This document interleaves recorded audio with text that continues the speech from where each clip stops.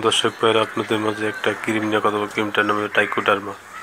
Company হলো general pharmaceutical যে সমস্ত ভাইদের চুলকানি এক চিবা রানের চিপা হয়ে থাকে আয় তুলিত হয়ে থাকে, তারা এই মলমটা সকালে রাতে দুইবেলা ব্যবহার করেন। কোনো পার্শ্ব প্রতিক্রিয়া নাই আপনাদের চুলকানি ভালো হয়ে যাবে, কোনো সমস্যা নেই। যদি ভালো লাগে সাবস্ক্রাইব করুন লাইক দিন। ধন্যবাদ।